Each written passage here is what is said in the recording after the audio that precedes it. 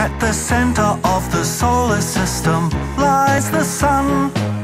And then the planets, one by one, orbiting elliptically in a plane. You can remember them each by name. Mercury's the smallest and the closest of them all.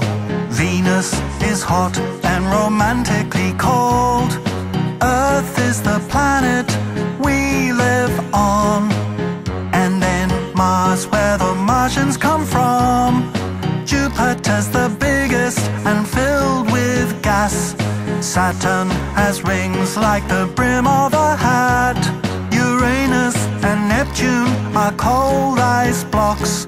And Pluto's just a semi planetary rock. Don't forget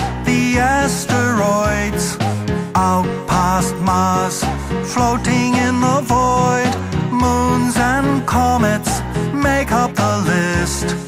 Let's go back now and see what we missed. Mercury's the smallest and the closest of them all. Venus is hot and romantically cold. Earth is the planet we live on. And then Mars, where the Martians come.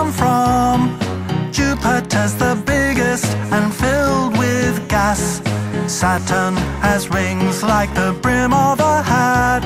Uranus and Neptune are cold ice blocks. And Pluto's just a semi planetary rock. And that's the solar system, the way that I was taught. If you want to know much more, you better become an astronaut.